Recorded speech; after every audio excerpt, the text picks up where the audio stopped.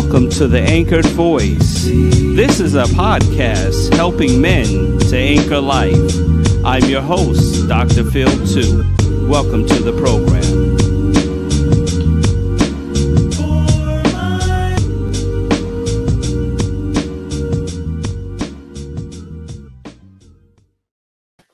What's up, everybody? Welcome to the Anchored Voice, a podcast helping men to anchor life. I'm your host, Dr. Phil 2. I'm excited about my guest I have right here in the virtual studio. Uh, before we go to my man, let me let you know that this podcast does have a sponsor. This podcast is sponsored by Kimon Hines, Ideas to Life. Check him out June 17, 730 Three steps to turning your ideas into income. Three steps to turning your ideas into income. Check him out, Ideas to Life. Kimon Hines, Ideas to Life. We're also sponsored by McGuire Wear, Fashion Your Faith. Go to McGuireENT.com backslash McGuire Wear and fashion your faith. Thank you, everybody. Listen, we'd love for you to subscribe to our YouTube channel, McGuire ENTV. McGuire ENTV. We'd love for you to subscribe to our channel. If you would like to be a sponsor, write us at info at McGuireENT.com, McGuireENT.com, and check us out. We'd love to have you as a sponsor for one of our podcasts. My man, Brad Butler. What's up, bro? How you None doing, much. man? Nothing much, man. I'm good. I'm good. Can't complain. How you? I'm great, man. Let me tell y'all, this is Brad is one of the best motivational speakers out there in the country. I know you hear about a lot of people, but Brad is well accomplished. Um, out of New Jersey. Yes, sir. Out of New Jersey. So we're neighbors. I'm from New York, New Jersey. It's it's all good. So we we just want to add value to you today, men. Uh, those who are watching, we love to add value to you. You know, because we're dealing with uh, a situation where adversity comes, and that's why we're called the anchored voice. Because how can you stay anchored through adversity?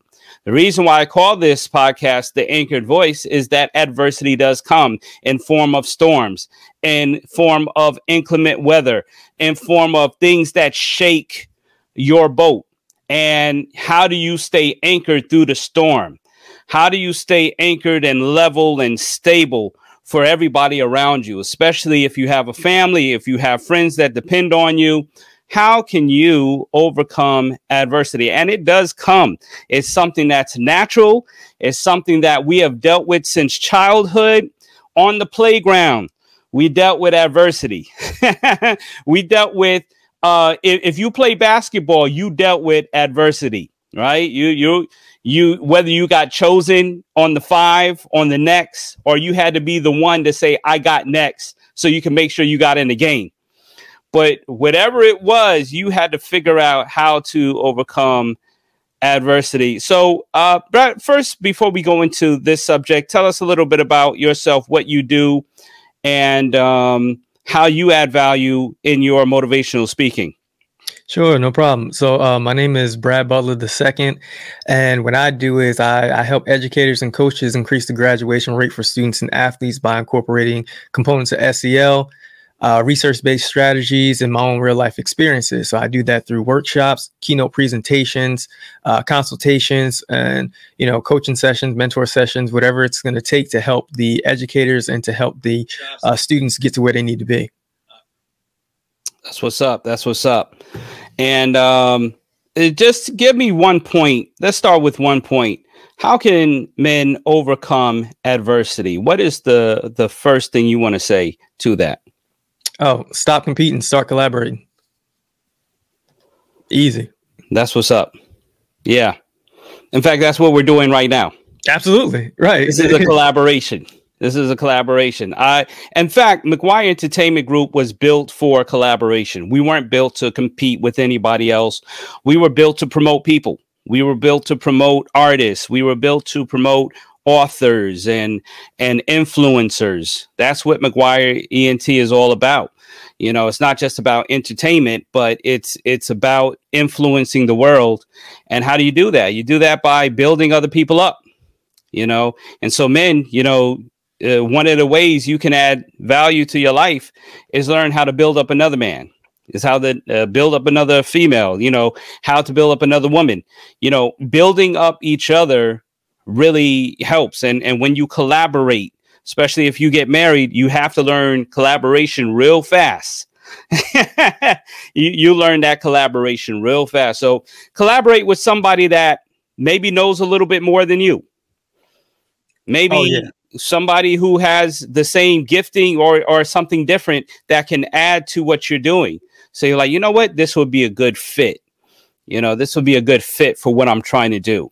And so you look around at you know the people around you, and eventually you find, hey, you know what, I can collaborate with these uh, companies or this individual and uh, you know and and in that my business now starts to go up Oh yeah, absolutely. Um, and and I try to make it my business to go into rooms where I'm not the smartest one there. Wow. Or I, or I have the least amount of experience because yeah. I, I want to make sure that I'm ever evolving, that I'm constantly learning. So I'm always downloading ebooks on my phone, um, reading something, studying something, sharing information with my wife.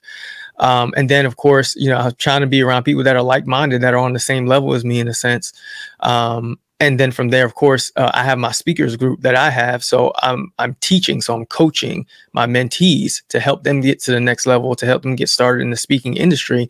So you have to have those three tiers in your life at all times. And you should always kind of be in that middle area where you have people that are around you who are like-minded and are somewhat on the same level as you and it just keeps you grounded and you always have someone to kind of reach up to to try to get information from and someone to pour down to so you can give information to others. That's what's up. Yeah. Collaboration. That's that's one way. Adversity is going to come. But you know the other thing about collaboration when it comes to adversity is it's that you learn how other people have dealt with conflicts. And you see how they solve problems. And then you learn also how to solve a problem. And so the greatest thing I learned was under me being a leader, but under leadership. And I got to see how they handled board meetings and agendas and and people coming at them with all kind of accusations. And I was able to learn from my father, seeing him in a leadership role. I was able to learn from other leaders that I had and, you know, people would just stand up and they'd come with the craziest notions about the leader and straight to the leader, right up in their face, say whatever they felt like saying. But then your response is critical to what's coming at you. And so, another way to overcome adversity is be prepared for adversity, right? Be prepared for it. A lot of times we have a mindset that, you know, when we say, man, if they do that thing one more time, I'm a. We've already mentally checked out or we've checked into choosing violence. you know, we we've already started decided how we're going to handle that conflict. Yeah, if they say that thing to me one more time, this is this is what I'm going to do. Oh yeah, I mean it depends on your upbringing as well, your personality traits. Um, so um, I mean, it's just a matter of having that um, EQ, right? We mm-hmm. all know of IQ, you know, your intellectual ability, but uh, EQ is very important as far as your emotional awareness, understanding what you're feeling and why you're feeling it at the time. And that's super important, especially for our men, because, you know, when we were younger, you know, you get told, hey, you know, you know, men don't cry or you know you know stop acting like a punk or this this and that whatever it might have been. So you harbor those feelings and you think that it's not okay for you to cry it's not okay for you to say that you're sad or you don't feel good about this or you know you, you don't feel like you can confide in somebody so when they become adults, you know, grown men, and they experience these feelings in a certain situation, it, nine times out of 10 is going to explode and it's going to turn into physical violence or aggression, whatever it might be.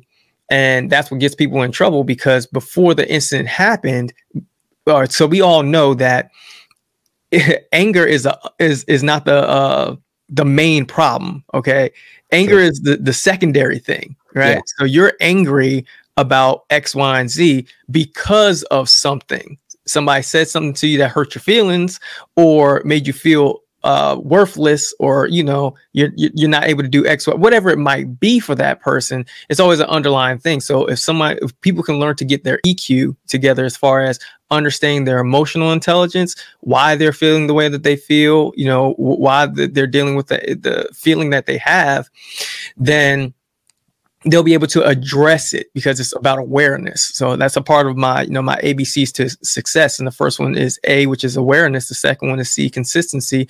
And the last one is, I'm sorry, B is, uh, A is for awareness, B is for begin, and C is for consistency. So if the first thing you do is you become aware of what it is that you're feeling, what you're going through at the time, you can then begin to work on it and structure, fix that thing, move, remove yourself from that situation right. or, you know, address whatever it is at the time and then see is be consistent with what you're doing as far as the healing process. You know, it's not it's not good enough to just deal with one time and then walk away from it and then you go back to your old ways. You have to remain consistent with the way you work on a thing so that you can get yourself out of that situation. So I use the ABCs for success as far as anything that, you know, I'm trying to do to overcome a certain thing, especially adversity. Yeah. Yeah, absolutely. And, uh, you know, once you're aware of things, you're able to address that. You're able to speak to that. And um, consistency is always key. Consistency. And, you know, it's amazing thing when you deal with conflict, but somebody looks at you later and says, man, you're always consistent. You know, no matter what's coming your way, you are always consist- consistent. And that's because we're aware. we are we are aware of what we could say we are aware of how we can react you know how e- even if we were raised certain way even if it's been in our dna once we're aware of that then we can speak to it. But a lot of people act that like they're not aware but they are. Mm-hmm. and a lot of people excuse it and say well you know that's just me. That's just me. That's just how i do. Well yeah that's how you did. But what results are you getting every time right? And so uh, you keep doing it the same way, you keep responding the same way, but somehow you get the same results and it never goes in your favor. You keep saying, Well, this is me, but you are still angry. You are still bothered. You are still bitter. And the, the situation never has been resolved. Oh, yeah. And um, one of the things that I've realized, you know, just over this short span of life that I've had so far is that, you know, with all the forms of adversity that you're going to face and all the ups and downs that you're dealing with, no one cares. No one really cares. Um, so there's no point in complaining about it and going back and forth about, you know, he did this, she did that, they said this, they said that. Well, if they would have done, okay, I, I get it, but complaining is not going to help you get any closer to solving the problem. So um, someone told me a long time ago, you know, uh, there's like a rule of thumb that goes along with complaining. It's like 80% of the people of the world don't care, and the last 20% are glad it's you and not them. So there's no point in complaining. That's right. There's no point in complaining in the first place. So I had to learn that in order for me to get past the thing that I'm dealing with, as far as the form of adversity, I have to face it. Like, especially as men, like we so quick to punch somebody in the face like to you know to shoot a gun, get in a fight, you know, jump somebody, whatever. But you like you like you will be the last ones to say I got I have trauma. Like I got childhood trauma. Somebody somebody said something to me when I was younger. Somebody did something to me when I was younger, right. and it's right. affected me up into my adulthood. And which is yeah. why I can't have a conversation with my wife the right the right way. I can't show love to my son or my daughter the right way. Like I'm telling you, like that is the main thing that people are dealing with, especially black men. Yeah. It, it's so much trauma that's out there that they have they they know is there. They know they need to address it but they refuse to address it because they feel like it's going to make them feel like they're weak if they go see a counselor or if they go talk to somebody about it or they try to confide in or they might have tried to and that somebody laughed at them right? Somebody used it against them. I've been there where i express like i expressed something that was deep for me like yo man like this is this and that and they use it against me later on and you shut down. You're like well i'm never doing that mm-hmm. again but i get it. The only way that that thing will actually have control over you is if you allow it to yeah. which means that you have to then grab hold of that thing. You have to gain control over that situation so that you are now in control over how you know the results come out. Because if you allow it to just fester and simmer and just sit in that closet and you're running from it eventually it's going to catch up to you. And nine times out of 10, what ends up happening is that thing will rear its ugly head at the worst time possible. That's right. Right. So I always say, whatever it is that you're dealing with, have that uncomfortable conversation with the person that you don't want to have it with. And do it like, come on, like invest in yourself one time. Like just, you know, cry once and get it out the way. you know, it's interesting. A lot of people don't want to have that uncomfortable conversation, and it'd be about something very simple, like, "Oh man, every time they come around, they do this," and I'm like, "Well, why don't you just ask them to do something different so that you're not bothered and they have a clear understanding?"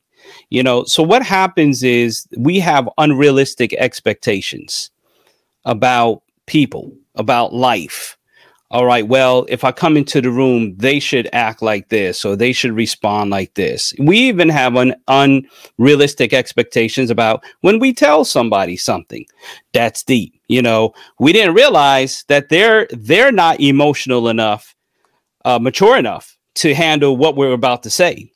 And we thought they were, but they aren't. And some people, be honest, some people have not grown past 14 in their emotional maturity.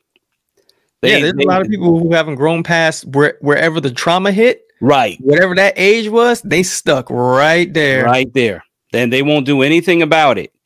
And no matter how many people try to tell them, they get defensive, they deflect, and they don't want to deal with the real issue. You know, it's interesting when I speak on a subject that hits somebody to their core they don't want to address that issue. They want to deflect and bring up another issue. Well, if you want to address that issue, why don't you address this issue? Well, we can address all kind of issues, but we're we're dealing on this topic right now and we're sticking here. So a lot of people what they do is deflect in order not to address. And so, you know, they end up not giving getting the right effect or getting the right attention to the problem because they're constantly deflecting. You know, we call that in psychology, you know, uh, projecting. projecting. And here's the reality. Hurt people hurt people. Oh yeah, that's a fact. That's hurt people. Yeah, hurt people hurt people. And, and that's why you see so many um failed relationships. And i'm not just talking about like intimate relationships. Mm-hmm. i'm talking about mm-hmm. businesses you know business relationships friendships right. you know um, um, family relationships. That's why you see some so many that are broken. And, and you, like you can pretty much go up to anybody out there and either they've had a failed relationship in some way shape or form. And it's because some people are just immature yeah. Like they're immature and they don't want to grow. They don't want to like because it hurts. It's hard work. The process is hard. It's painful. But I promise you, like th- that is a, a saying that saying that I said earlier is like have the conversation and cry once. Right. And get it out the way and be yeah. done with it. It, it. Uh, I don't know if anybody has ever felt it before or, or been there before, but have you ever had something that's just pent up inside you? You su- super mad about it, or it's aggravating, or it's causing anxiety or whatever it might be. And then you finally have the conversation either with the person or you go to the gym and punch a punching bag or something like that to get it out of your system. Yes. Then you know you feel better about your day or going about you know the rest of your day because you were able to get it out of your system. But if you let that thing just sit there then it's going to bother you. And, and, it'll go from a day to a week to a month to a year to decades holding on to something that you should have let go a long time ago. And then nine times out of ten you have your side of the story but you don't have the other person's side of the story. So then when you finally get their side of the story then you're like oh wow okay well that that that actually makes sense. Okay I, I, I didn't know that you did that or i didn't know that was the reason as to why or i didn't know that was going on with you. Like everybody has their own story. Like i have mine i'm sure you have yours where like i had that breaking point where i needed to go have that uncomfortable conversation with the person i needed to have it with to be able to free myself to be the person that i am today. Uh, that's real. And, you know, a lot of conflict can be resolved by the question, why did you? Or why did this happen? You know, and when you get to that question, you get the, the answer. And let's say the person was being petty.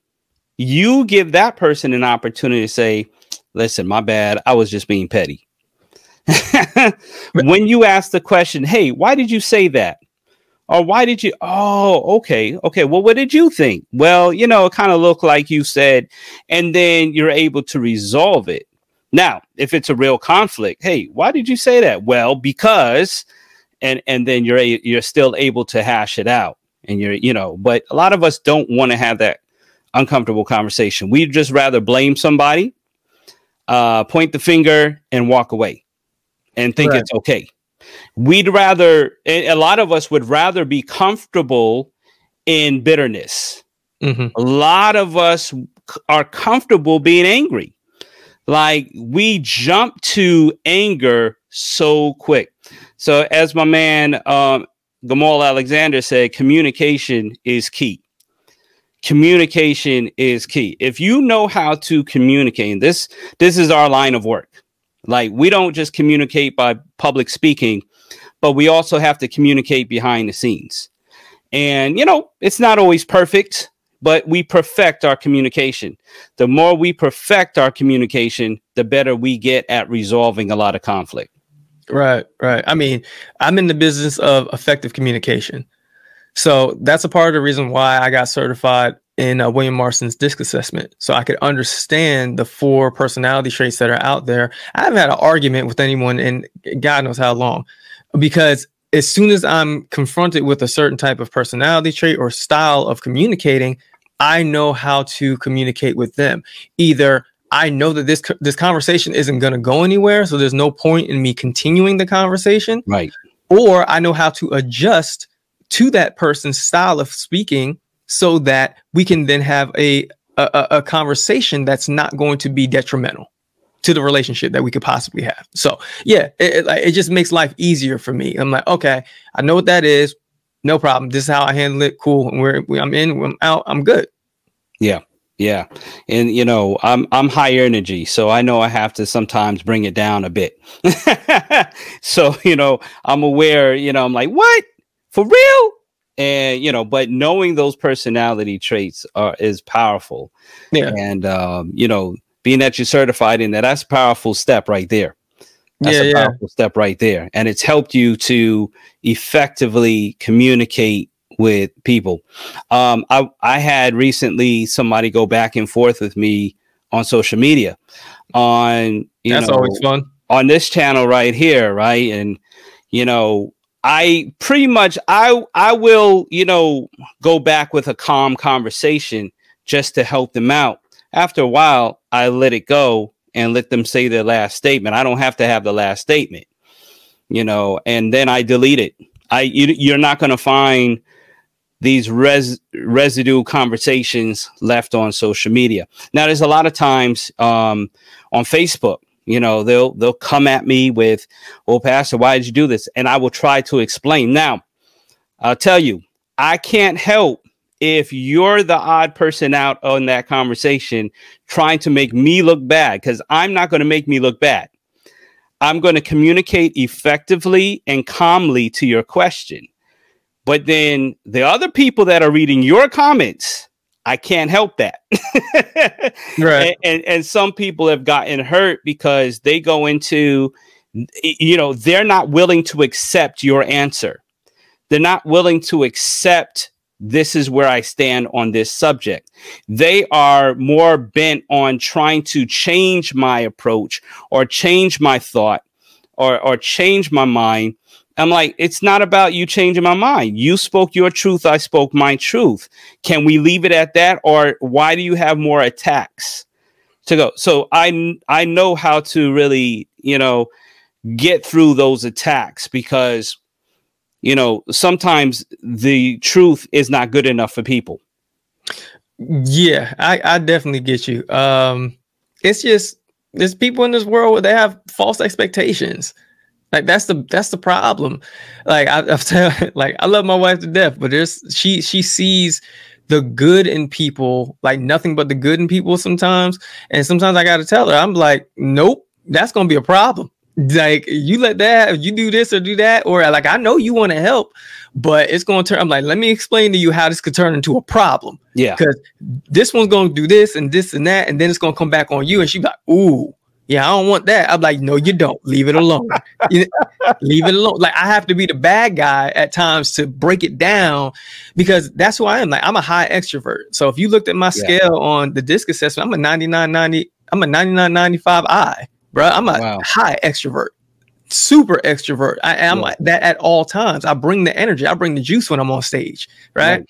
And that's a part of the reason why people bring me in to speak because of the energy that I exude. If you in a bad mood, you won't be for too much longer once I get there. Like, yeah. you know, because that's yeah. the energy that I bring.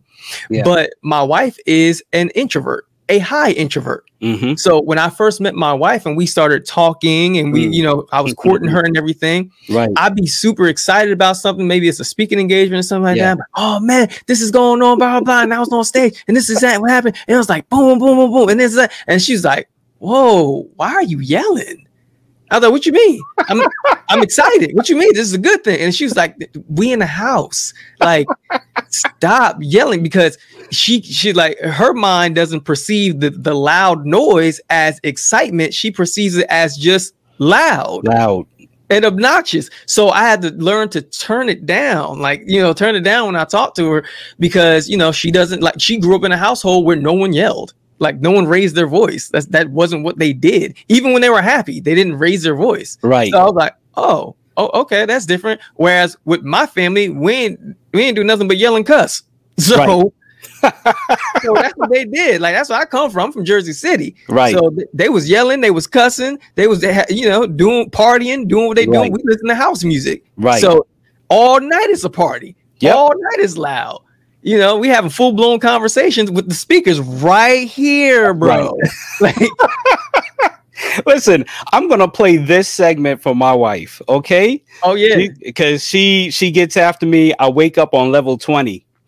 You uh, know, I get up in the morning and I'm already up here, and she's she's like, "Nah, I gotta kind of like coast into the day." Like right. you, you just coming with it. Especially if I see my son in the morning. Oh man, it's over. I'm throwing him up in the air and and and we getting all kind of loud. Um, you know, whether it be the TV on, like she's like, "You sure you can hear that?" I'm like, "Yeah, it's it's perfectly at the right pitch." And and of course, you know, uh, back in the day, you know, we blasted music in our cars. Mm-hmm. I don't know about you, but I put my dad's old speaker in one of our cars and I learned how to splice that baby into the car, into the system. I'm talking about a house speaker in the back of the car just so right. I can just bump it down the road. you know, so I, you know, loud has always been, you know, even listen, you know, when I call certain family members, I know I have to turn down the phone because that's just the way we are. We're excited, we're, mm-hmm. we're a little bit loud. My man said, God bless you guys. I need to wake up before I get loud. Oh no, yeah. you ain't got to put a blessing on me. I'm not a morning person. I'm not. I'm not a morning yeah. person, but you know, it's just I get up and I do what I do or whatever. Like, it, all right, here's the thing: I've learned over time to not treat my energy like an on and off switch. Mm-hmm. So I learned to treat it like a dimmer. Yeah. So I gradually turn it up to ten. So right. and it depends on where I'm at and what I'm doing. If yeah. I'm on stage, I gradually I turn that thing all the way up to ten. Right.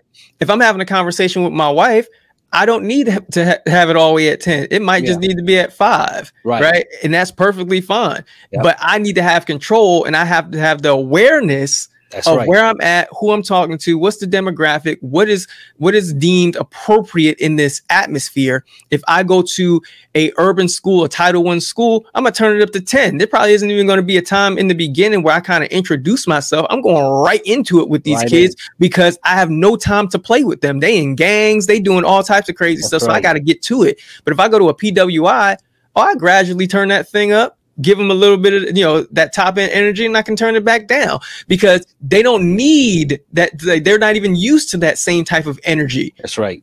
So, you know, it's just understanding yourself. That's that EQ. What do you want to tell a young man about dealing with adversity. Of, of course, we said stop competing, do more collaborating.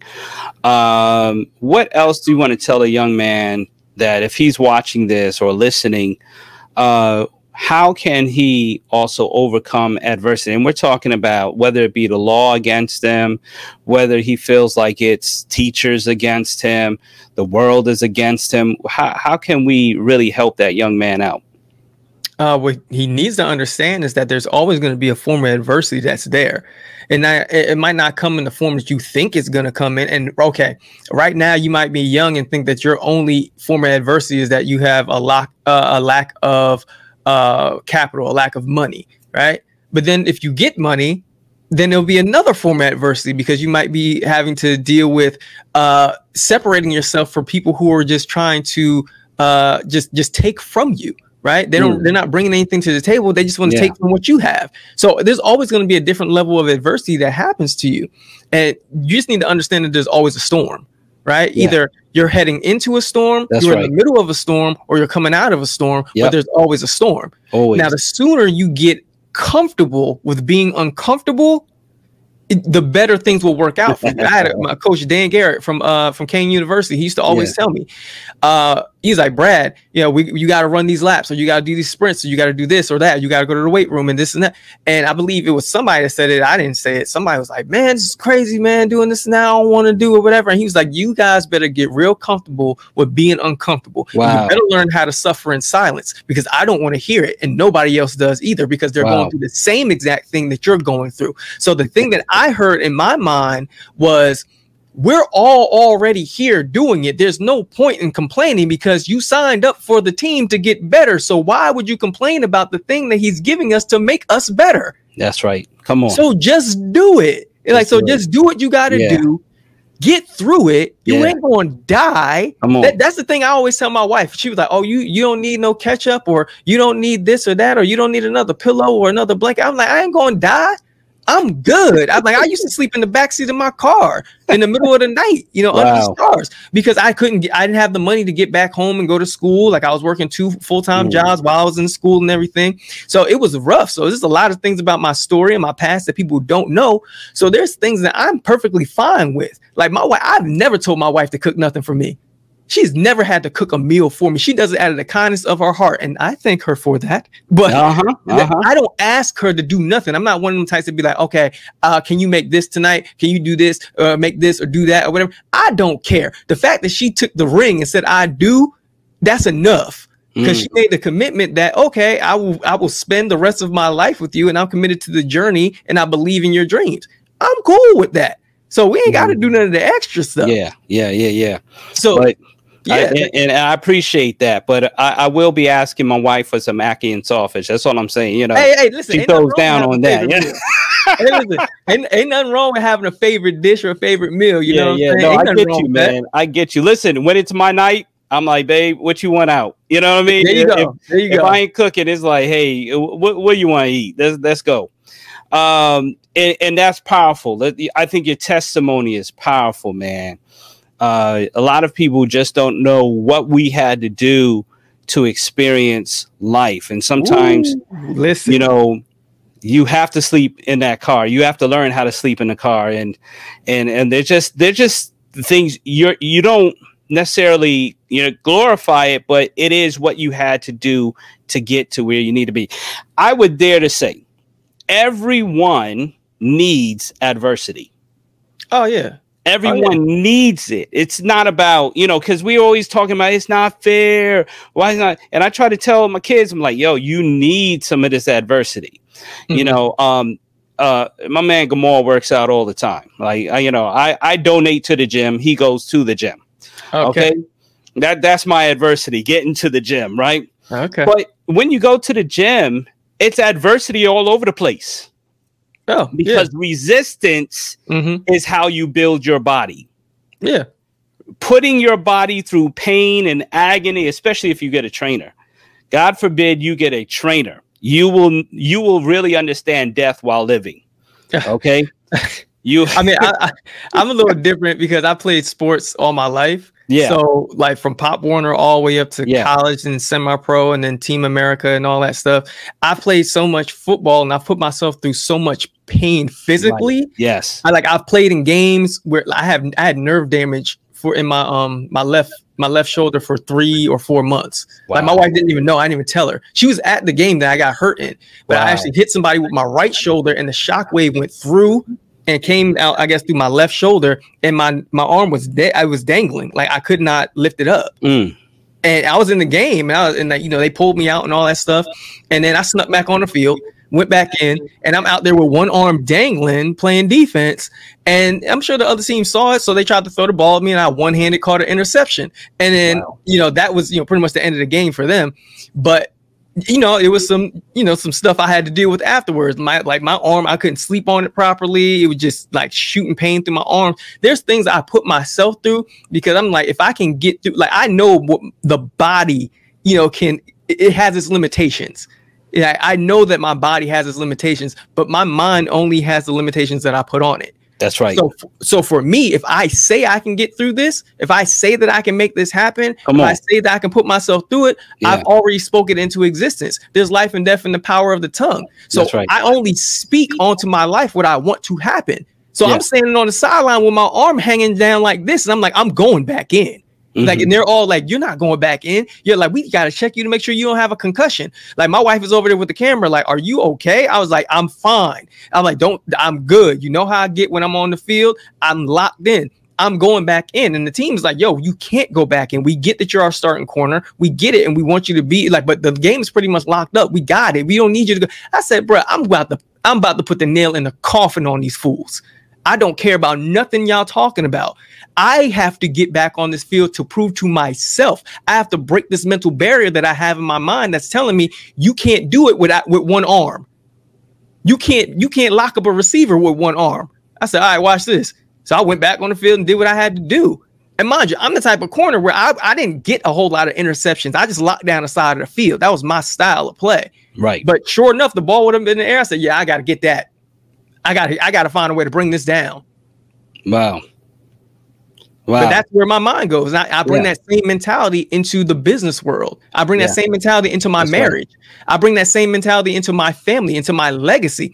So people don't understand. I'm sadistic. Like my mind works differently, bro. I'm not normal and I know it. And I'm cool with that. Yeah. Actually, I like it on this side. Yeah. I don't want to be normal because I Yeah. see what normal people do and I don't want Yeah. no parts of it. Right. Yeah. So Yeah. my thing is when I see things that are going wrong within my family, my business, when there was anything that was going wrong within my relationship, yo, I um, automatically look at it as a challenge. Like, okay, you're Yeah. trying to take greatness from me.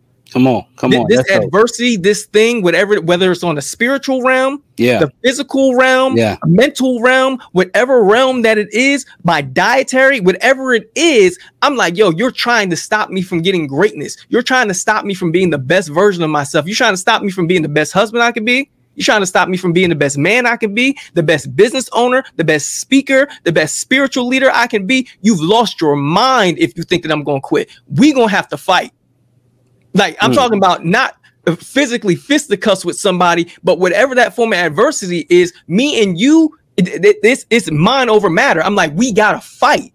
Like Yeah. you, until you drag me up out of this thing, I'm six feet under the ground. It's a fight on your hands. That's right. Like I think that's why I- some people they don't they feel uncomfortable around me sometimes when I start getting into my bag when it comes to speaking and, and doing my thing and I get locked in on something, bro. It's sadistic. I'm like, yo, I don't need to eat, I don't need to sleep, I don't need no water, I don't need nothing. Move, get out of my way and let me do what I need to do because there's a task at hand and I gotta give I gotta make sure I kill it because I don't know. Like when I get on stage and I speak, I don't know if this will be the last opportunity that I have. Like I don't know if this could be the last podcast that I ever do. So if it is, it'll be on record that I gave it everything that I had.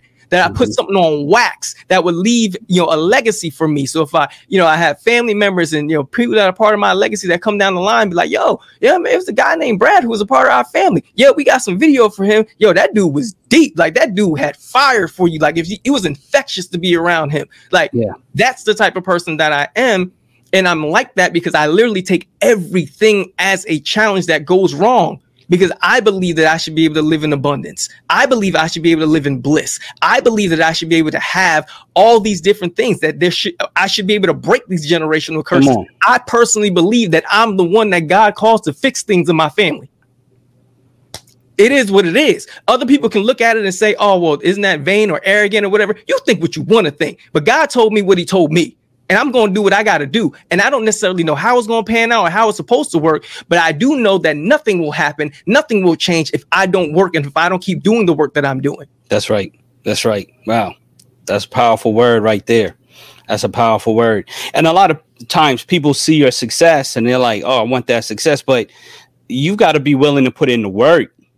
Like if I can tell you my schedule, you know, for what I do randomly through the week, you'd be tired the average person would be like, "Oh, I'm exhausted. You did all of that in one weekend?" Like, yeah. But I have that drive. This is my drive. This is the drive that I do to get what I need to get done. This is the energy that I have to put in. And listen, when I need to take my break, I take it because I've been working. I've been I've been hustling. I've been putting in the work. And so a lot of people don't understand overcoming adversity means that you have put in the work. You have been prepared for this. People have come with everything they have against you. And that's why you needed that adversity to know how to deal with the future and also uh, to help people in their life how to deal with that and encourage them. And after a while, it come it becomes an encouraging force. Like, nah, man, it's that's nothing. Listen, we've been through worse. I mean, right. if you grew up in the 80s and the 90s, you've had bad cars. You know, you've had a car that's broken down somewhere you didn't want it to break down. You know, you have had things that have gone. I, I, totally I lived wrong. in the neighborhood. I, I, lived in the neighborhood you didn't want it to break down in. Right, right. yeah. Listen, you know, it's like, oh man, my car broke down here. Oh man but you learn how to deal with it. So after a while, people are like, man, you made it look so easy. Cause I already I already went through my stress, my anxiety, trying to figure it out. Now I figured it out.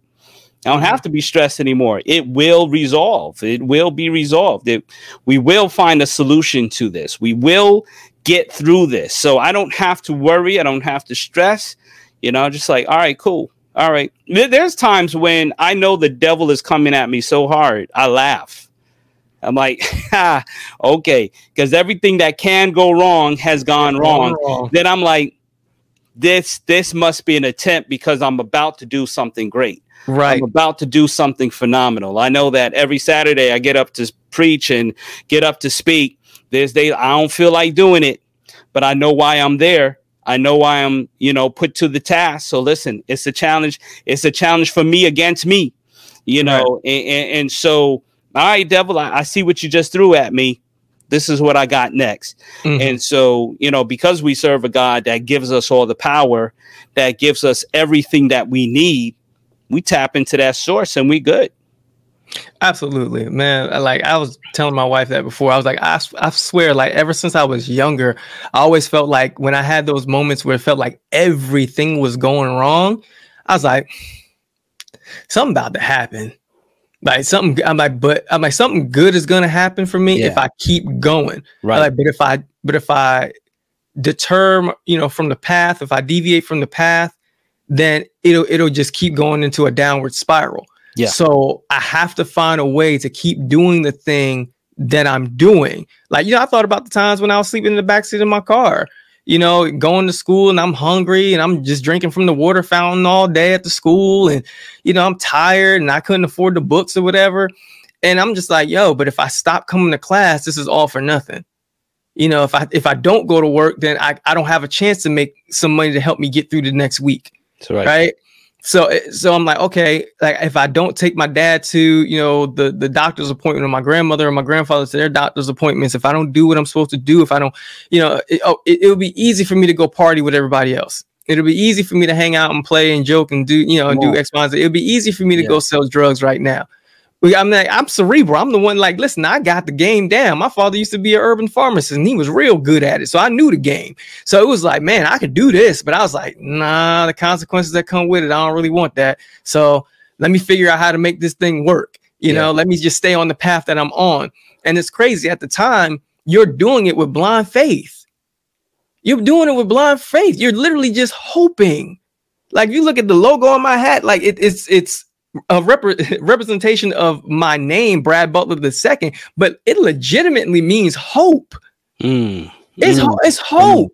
Yeah. Like I wear my logo on everything that I that I have because I want people to see hope Yeah. in me. Like for me to have been, you know, living in Jersey City, New Jersey, urban community, Martin Luther King Drive. You know, it was a terrible street. All right, so I don't know why we do that to Martin Luther King, but on Martin Luther King Drive, my fa- my mother and my father were bur- both just like big urban pharmacists, bruh, just just getting it right Mhm. and then you know for my father to then go to jail and then for my mother and father to then end up becoming heroin addicts and then have to beat that addiction and then for me to be you know where i'm at as far as you know in school and i had to move from the uh the urban community of jersey city to then the suburban community of east windsor then i get thrown into special ed classes for 10 years i'm told i can't go to you know i can't go to college i can't play collegiately i can't do all these things and then i do it anyway Mm. yeah, and I then I went to school and got two degrees, and I'm a couple classes away from getting what six classes away from getting my um, my master's right now, Wow. right? And then to become a professional speaker, have having been being have mm, having the ability to Yeah. uh, put myself in position where I was offered the opportunity to speak for Fortune 500 companies like Verizon and Mass Mutual, like that doesn't happen just by happenstance. It happened because things were going wrong the whole time through, and I just stayed focused on the goal at hand. Like Mm. my thing was, I didn't want to see the light at the end of the tunnel. I wanted to be the light at the end of the tunnel. So I was ready to do whatever it took and keep, you you know, just keep going and grinding until I took the dead end jobs, bro, working the third shift, doing whatever I could do, you know, sleeping on the floors of the uh, office buildings and stuff, watching people come in, you know, with their fancy cars and, and making all this money and just living lavishly. And here I am, you know, doing security work, sleeping on the floor at night, you know, after I do my, my tours and my shifts and stuff like that, just hoping and thinking to myself, one day it's not going to be like this. Like one day I'll be able to do X, Y, and Z for my wife and for my family. I'll be able to do this and do that. One day I'll be a full time speaker. Then next thing you know, like a year later, I, I'm a full time speaker.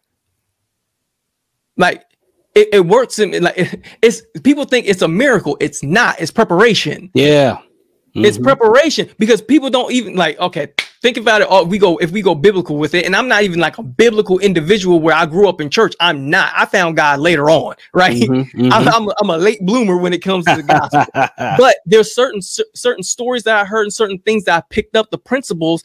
And if you think about David, like the whole David and Goliath situation, Yep. he was prepared for the situation That's right. before it happened. yeah. He was yeah. he was wrestling with with bears and lions. yeah. He was out in the field doing field work. He was banished. Come Like on. he was the like they didn't want him. They could Come care on. nothing about him. yeah. But yeah. he was the savior. He was the one who came along and fixed all the problems that they had. He was the one Come who on. killed the, the who slayed the Goliath. Here's my question for anybody who's listening to this, whether it's now or in the future, whatever it may be, ask yourself this question: What Goliath are you slaying in your life?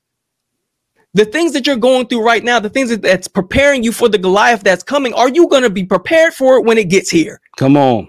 Mm.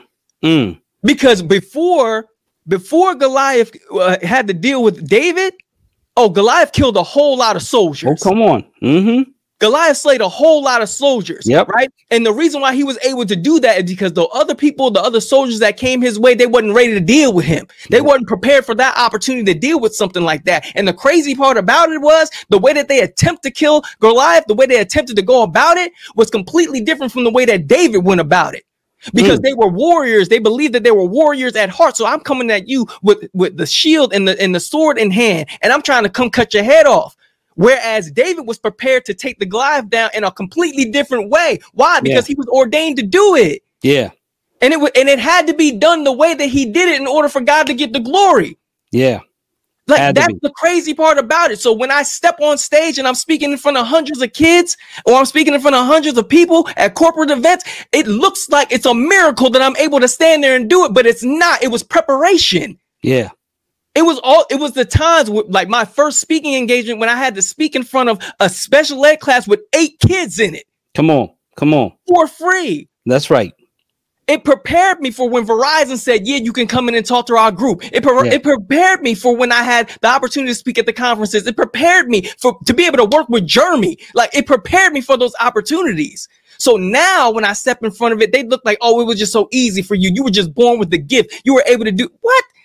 That's why I don't take nothing down on Instagram and Facebook and all that stuff. So you can go back and look at the memories. You can go back yeah. and see my very first video where yeah. I was in a bathroom with my phone propped up against a mirror course. Doing my best to be a motivational speaker at the time.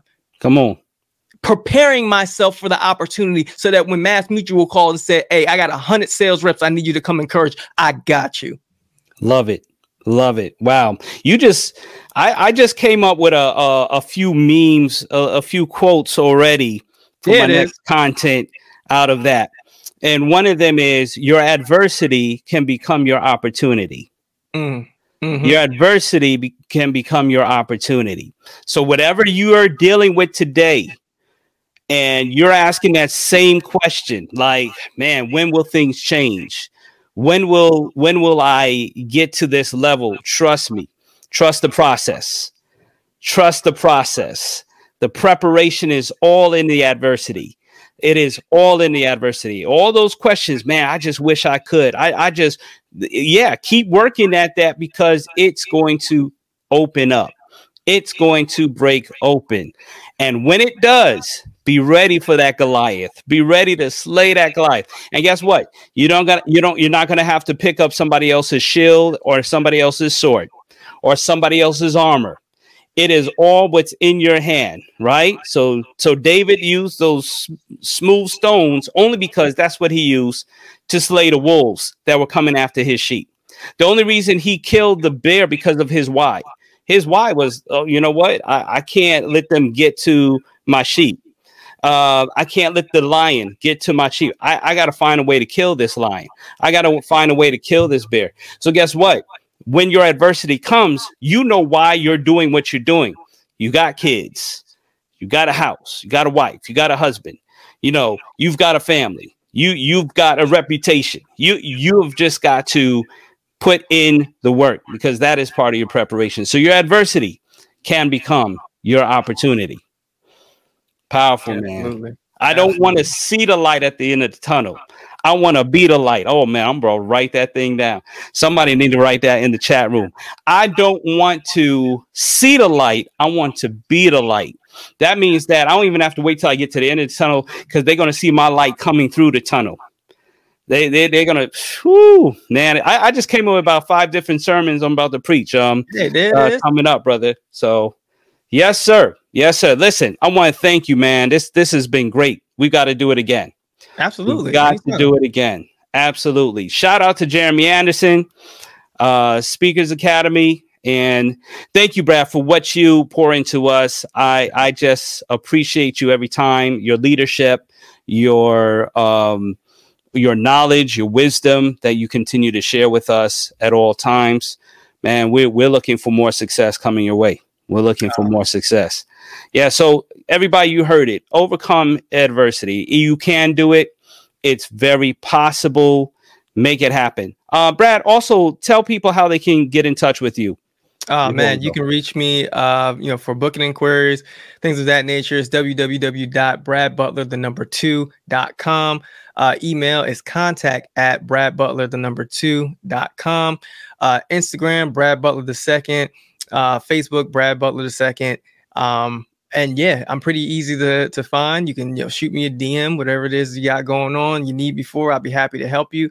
Uh, of course, shout out to uh, the Next Level Speaking uh, Academy, um, Jeremy Anderson. Man, we love you, man. We appreciate all that you do. Um, thank you for you know everything that you do for us and you know bring us all together. So yeah, we're just gonna keep rocking. We're gonna keep doing what we're doing to make sure we strengthen the community and just keep going out and speaking life into the world. That's what we're doing. Yeah, man. And I'm glad I'm not the only one who uses the second, you know. so, you know, when you hear Dr. Phil 2, that's where it's coming from. I'm Philip the second. You know, I've I've been using two for everything. You know, even in my rap name, I was clever two. You know, was, you know, just it, the number two has just been something that has I've rocked with, you know. A lot of people striving for that number one, but number two ain't a bad number. It takes two to make a thing go right. You know what I'm saying? so uh, that's what's up, man. So listen, get in touch with him, bring him to your event, uh, invite him as a speaker, uh, follow him. You see his handle right there. Follow him on Instagram. And uh, listen, man, thank you so much for being a part of this. I can't wait to do it again. Uh, thank you so much for having me. It's an honor and a privilege. I, I look forward to the next time. And anybody's listening, listen, I love you from the bottom of my heart. I encourage every last one of you to make your next day your best day. Thanks. That's what's up. All right, everybody, please share this video. Thank you for those who have shared already. Please share this video. Thank you for watching the rebroadcast of this video. Thank you for being a part of the Anchored Voice, a podcast helping men to anchor life. I'm your host, Dr. Phil 2. Stay anchored. Thank you for listening to The Anchored Voice. For the video edition of this, subscribe to our YouTube channel, McGuire ENTV. For audio, listen on Podbean, Spotify, Apple Podcasts, Google Play, or Stitcher.